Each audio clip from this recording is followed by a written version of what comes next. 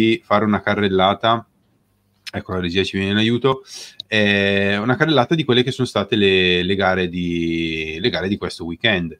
Quindi le gare di sabato con Parma, Parma-Milan 2-1 e qui insomma dopo affronteremo un attimino quello che è il momento del Milan. L'Udinese-Lazio, anche in questo caso la Lazio ha perso per 2-1. Eh, L'Inter che insomma riprende quello che aveva lasciato l'anno scorso con un netto 2-0 sul Lecce e il Monza che perde in casa e questa secondo me è una brutta sconfitta eh, per 1-0 contro il Genoa. Mentre poi abbiamo le gare di domenica, gare di domenica che anche in questo caso sono state molto interessanti con la Fiorentina e Vene- Venezia che hanno pareggiato 0-0, Torino-Atalanta un'ottima vittoria del Torino per 2-1 che conferma quello che di buono si era già visto nella prima giornata con un pareggio all'ultimo istante del, del Milan eh, appunto per 2-2.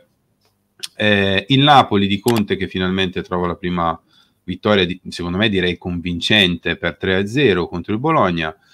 Roma, eh, la Roma che perde in casa, anche in questo caso, ragazzi, un, un, piccolo, un piccolo dramma, dopo lo vedremo, per 2-1 contro l'Empoli, per poi insomma arrivare alle, alle gare di ieri, dove il Cagliari ha pareggiato col Como 1-1 e la Juve ha, direi, stravinto meritatamente per 3-0 contro il Verona. Eh, che, cosa, che, cosa, mi sai dire di queste, di queste partite, Max? Soprattutto io direi di soffermarci su, sulla brutta sconfitta del Milan, eh, anche se, se non sbaglio, forse con te l'altra volta, settimana scorsa, avevamo detto che il Parma non sarà una squadra cuscinetto, no?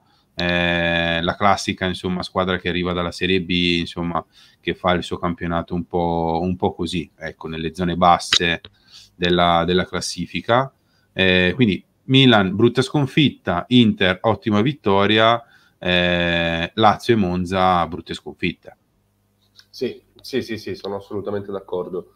Intanto va sottolineata la, la, prestazione del Parma che torna in Serie A e nelle prime due giornate affronta Fiorentina e Milan e fa quattro punti, quindi tanto di cappello al Parma. Chiaramente la vittoria non è solo grande merito del Parma, ma anche tanto demerito del Milan, un Milan che mi sembra poco unito, poco squadra, specialmente in fase difensiva non vedi mai fare quel metro in più, quella rincorsa in più anche dai giocatori che dovrebbero essere un po' i leader, no? i simboli, lo stesso Teo Hernandez mi sembra un po' compassato, è vero che poi sul gol del Milan naturalmente l'azione si sviluppa a sinistra con Teo e Leao che sono le armi più pericolose a disposizione di Fonseca, però poi difensivamente è un Milan un po' piatto, un po', un po' morbido, non ha quel sangue negli occhi che dovrebbe caratterizzare le big, specialmente se già hai fatto un mezzo passo falso nella prima giornata la seconda mi sarei aspettato un po' più di cattiveria, ecco, invece ho visto ancora un Milan un po' leggero. Mm, meglio l'Inter, che anche arrivava da un mezzo passo falso, invece ha gestito bene la gara con Lecce, un gol per tempo, non ha praticamente mai subito un tiro in porta. Non è stata una gara esattamente spettacolare, però comunque una vittoria agevole, mettiamola così. Eh, Monza e Lazio invece perdono punti laddove forse ci saremmo aspettati che entrambe almeno un, purtici, un punticino lo, lo potessero portare a casa. La Lazio aveva fatto molto bene la prima giornata contro il Venezia e invece cade a Udine, sempre un campo ostico comunque quello di Udine, una squadra molto fisica, molto rocciosa e ha messo in difficoltà la Lazio. E idem il Genoa che continua a mettere in difficoltà chiunque dopo il pareggio strappato in extremis all'Inter, vince anche a Monza, quindi quattro punti nelle prime due giornate contro i campioni d'Italia e una trasferta, quindi buona partenza anche del Genoa privato, ricordiamolo sempre, di Gudmundsson e Reteghi, quindi tutt'altro che scontata la partenza con quattro punti in due giornate. Buono il Genoa, buono Pinamonti, ha trovato il gol, ha fatto un bel gol, anche devo ammettere Pinamonti. Lucca e Pinamonti si sono sbloccati, vediamo se questo può essere per loro l'anno un po', come dire, della consacrazione, se vogliamo, sono due giocatori che qualcosa promettono, lasciano intravedere dei colpi, non so se potranno mai diventare il numero 9 della nazionale, glielo auguro, Vediamo se quest'anno riusciranno magari ad andare entrambi in doppia cifra. Non sarà facile, ma ce la potrebbero fare. Assolutamente sì. Sono, sono d'accordo con te su tutta la linea, quindi non, eh, non perderei altro tempo su queste, su queste partite. Che, ecco, l'unica cosa che mi balza un pochettino la mente è questo Milan che è veramente spento, cioè lo vedo proprio spento, quindi eh, dal punto di vista tecnico, insomma, sicuramente non è inferiore al Parma, però quando, come dicevi tu, no? quando non hai sangue negli occhi, quando non corri, c'è poco da fare. In Serie A ormai, ma in generale, eh, quando in questo calcio molto fisico se non, se non corri non, non, vai da nessuna parte e lo vediamo con la Juve di quest'anno che rispetto all'anno scorso aggredisce molto alta, insomma ha proprio un approccio alla partita completamente diverso, eh, come appunto la, indipendentemente dal risultato, ma come la prestazione della squadra sia completamente diversa. No? Ehm, detto questo, l'Inter appunto ricomincia lì laddove aveva, aveva lasciato l'anno scorso, Lazio Monza appunto un, secondo me un piccolo disastro in questa, in questa giornata, anche se ovviamente il Genoa è una squadra di tutto rispetto, ma non è il Genoa dell'anno scorso. Quindi dal Monza, il Monza secondo me quest'anno con la nuova guida tecnica, giocatori che sono partiti, eccetera, farà molta fatica. Eh. Secondo me quest'anno il Monza, non so se ti ricordi ancora prima dell'inizio del campionato, io l'avevo detto, eh, sarà una squadra secondo me che, non, che, che, lotterà per non retrocedere. Io mi sbilancio, ma, ma, ma la vedo così. Ecco. Detto questo, passerei alle gare di domenica che hanno visto anche in questo caso dei risultati sicuramente inaspettati.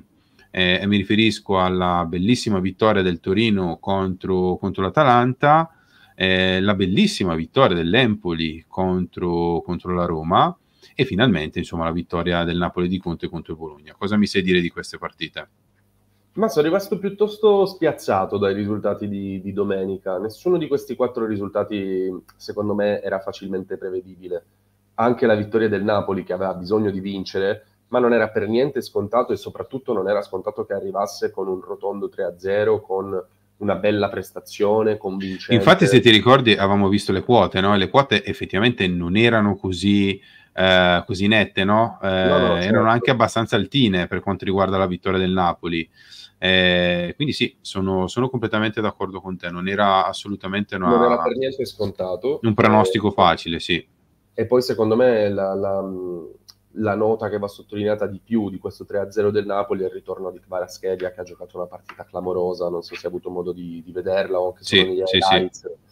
Ha dimostrato che, che tecnicamente è, è il leader di questa squadra, che il 90% delle azioni pericolose che crea il Napoli devono passare dai suoi piedi che sia per un assist o che sia per il gol, è fondamentale. Ha messo lo zampino su tutti e tre i gol.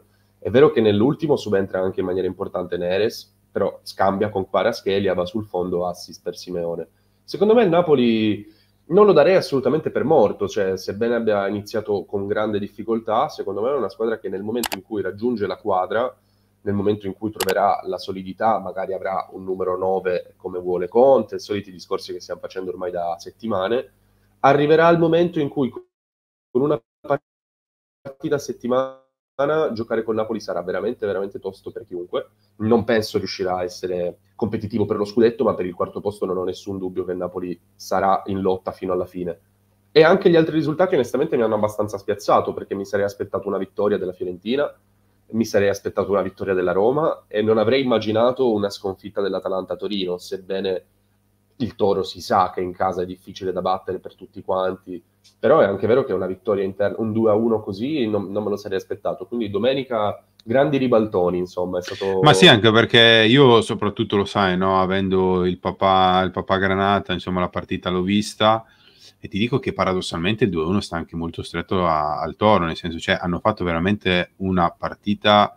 Eh, una partita secondo me spettacolare nel senso che eh, molto, molto propositivi, molto, eh, molto attenti, anche perché comunque l'Atalanta è sempre l'Atalanta, quindi devi stare anche molto attento in fase difensiva. Eh, uno Zapata straripante, l'abbiamo detto comunque, eh, se non sbaglio, settimana scorsa, cioè, Zapata ragazzi è fortissimo, cioè, cioè, secondo me, senza nulla togliere al Torino che ovviamente lo vediamo no? da, dai piazzamenti che ha avuto negli ultimi anni, è una squadra comunque di metà classifica che arriva sempre lì, ottavo, nono, decimo posto. Zapata, secondo me, ragazzi, è un attaccante da primi quattro posti. Cioè, uno, Zappa, uno Zapata al Milan, io lo vorrei. Per fare, per fare, un esempio, uno Zapata al Napoli io, io lo vedo benissimo. Cioè, ehm, quindi, ecco, secondo me, eh, questo Torino, se dovesse continuare così, ehm, soprattutto l'approccio che ha, che ha alle partite, perché la, eh, insomma, ragazzi, il Torino ha giocato con Milan e Atalanta, ha fatto 4 punti e rischiava di farne 6, eh? Quindi quello che tu dicevi eh, dell'ottima partenza del Parma, eh, parliamo anche del Torino allora, perché ragazzi, Atalanta e certo, Milan, certo. che l'anno scorso sono arrivati in Champions, che quest'anno sono in Champions, Atalanta campione, insomma, ha vinto l'Europa League, e insomma il Torino quest'anno ha cambiato tanto tra giocatori, Vanoli, insomma allenatore eccetera, ha fatto ragazzi due gare, due gare spettacolari e rischiava di, di, insomma, di essere in testa alla classifica insieme alla Juve al termine della seconda giornata. Quindi eh, io direi ottimo Toro, eh, ottimo Napoli, Fiorentina che con questi due pareggi secondo me ricalca un pochettino quello che, quello che è il campionato dell'anno scorso. Insomma, la Fiorentina un po' come il Toro è sempre lì, eh, tra l'ottavo e il decimo posto, eh, zona conference, giusto per capirci.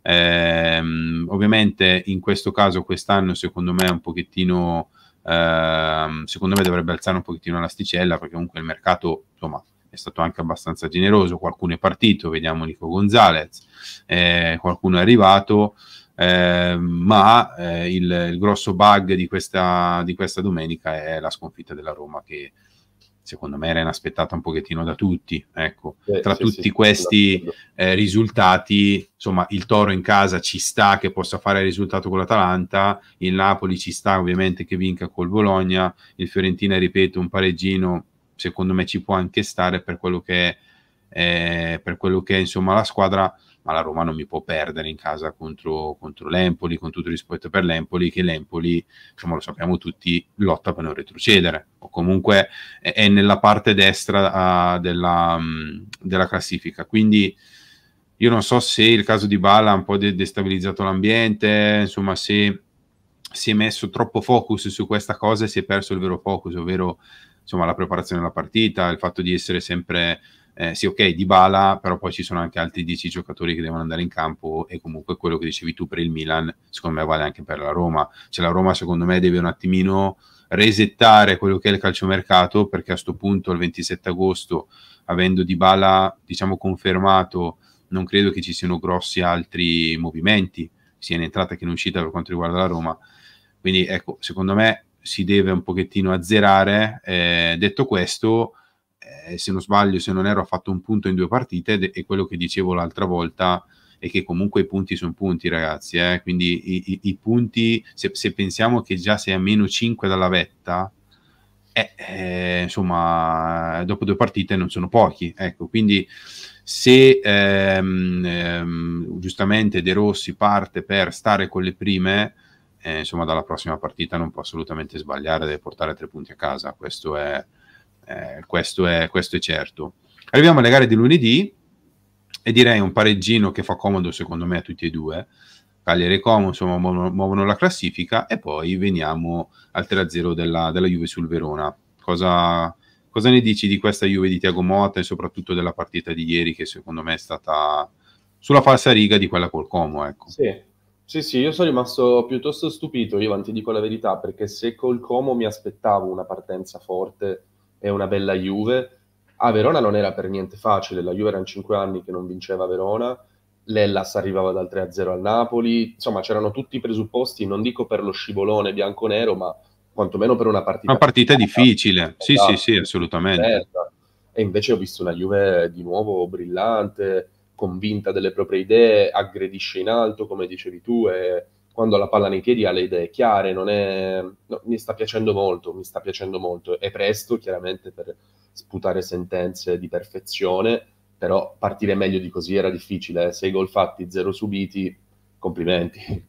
Eh sì, sei gol fatti, zero subiti da sola in testa alla classifica, sì. perché l'unica, l'unica a punteggio pieno dopo, dopo due giornate e come dici tu, finalmente io aggiungerei si vede una squadra che sa cosa deve fare in campo. Poi sicuramente arriveranno in periodi bui, periodi di down, Vlaovic che non segnerà per 10 partite di fila, insomma questo ormai è la normalità.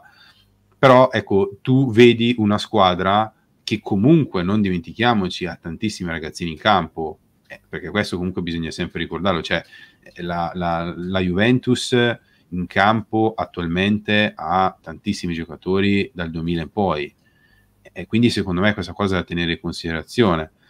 E la cosa che a me personalmente piace, non tanto da tifoso della Juve, ma da tifoso del calcio, mettiamola così, è sentire un allenatore che ti dice, eh, ragazzi, eh, se un giocatore forte, che sia giovane o che, sia, o che abbia 30 anni, bisogna farlo giocare. Eh, e questa è la cosa che, e questo secondo me la marcia in più che la Juve può e deve avere quest'anno. Eh, chiamiamola meritocrazia, chiamiamola gestione all'inglese, che comunque sai all'estero hanno sempre quella propensione a buttare nella mischia un giocatore se è forte, prendiamo Nico Williams, prendiamo eh, Jamal, insomma, cioè, ragazzi miei, se uno è forte deve giocare, punto, indipendentemente dal fatto che abbia fatto, non so, l'anno scorso nella next gen piuttosto che in Serie C da qualche altra parte perché se fai parte del gruppo Juve e Tiago Motta comunque due mesi, tre mesi che ti vede in allenamento, se ti fa giocare un motivo c'è, perché comunque sei la Juve. Quindi ehm, secondo me è, è, proprio l'approccio, infatti lo diceva anche Vlaovic, che insomma in alcune, in alcune domande, non so se hai visto qualche intervista, eh, hanno provato a chiedere a Vlaovic, insomma a fargli dire la, le differenze no, tra Tiago Motta e Allegri, perché eh, sono secondo me lampanti e quindi di conseguenza i giornalisti ci provano. No? Lui ovviamente non, non, dirà mai e non ha mai detto che eh, Tiago Motta, insomma, eh, l'impostazione di lavoro di Tiago Motta sia migliore di quella di Allegri, ma l'ha fatto capire. Cioè, comunque ha detto che eh, la squadra gioca più alta, ci sono più giocatori che accompagnano la zona insomma, offensiva, che lui non è da solo là dalla tre quarti in, in avanti eh, giustamente a inventarsi la giocata piuttosto che il gol, piuttosto che... Quindi questa è una cosa che sicuramente fa la differenza e che ha cambiato eh, la Juve insomma in queste, in queste, prime giornate. Detto questo, siamo all'inizio, eh, vedremo un attimino, ecco, con la Roma sarà un bel banco di prova. A proposito, prima dicevamo di Rossi dovrebbe fare tre punti nella prossima giornata, insomma, la prossima giornata c'è Juve-Roma, quindi sicuramente non è facile. Eh, comunque, indipendentemente dai tre punti, se De Rossi dovesse strappare con una bella prestazione, perché poi c'è modo e modo di pareggiare modo e modo di perdere. La prestazione comunque ci deve essere contro la Juve a Torino, sicuramente non sarà facile e, e, e vedremo un attimino come si presenteranno